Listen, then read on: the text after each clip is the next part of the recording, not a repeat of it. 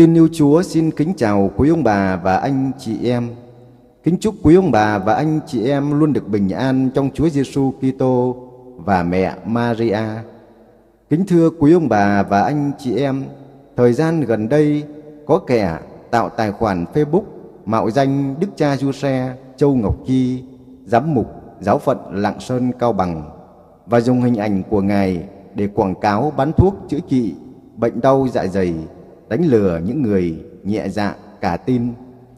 Trước tình trạng này, vào ngày 7 tháng 1 năm 2022, Đức cha Du Xe Châu Ngọc Chi, giám mục giáo phận Lạng Sơn Cao Bằng đã làm tờ trình báo gửi phòng an ninh mạng công an tỉnh Lạng Sơn để kịp thời phát hiện và chặn đứng kẻ gian.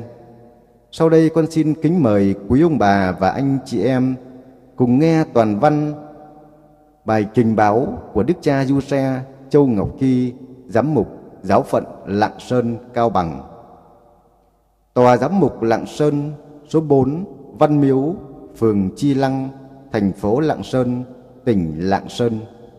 Cộng hòa xã hội chủ nghĩa Việt Nam, độc lập, tự do, hạnh phúc, trình báo về việc mạo danh lừa gạt trên mạng xã hội.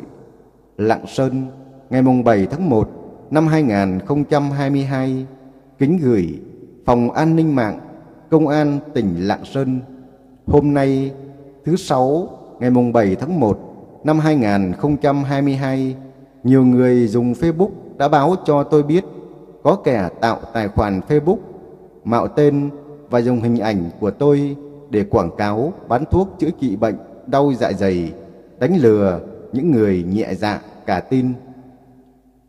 Tên của tài khoản được tạo là Paulo Châu Ngọc Kỳ. Thực ra, tên đầy đủ của tôi là Giuse Châu Ngọc Kỳ. Những hình ảnh thì đúng là của tôi thời 15 năm về trước khi còn ở Đà Nẵng.